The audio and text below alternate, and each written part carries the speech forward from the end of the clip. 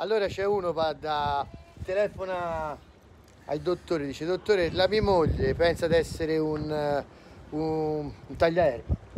Porca miseria, dice, ma questa è una cosa grave. Eh certo, me la porti subito, no ora subito un po' perché devo finire di tagliare il giardino.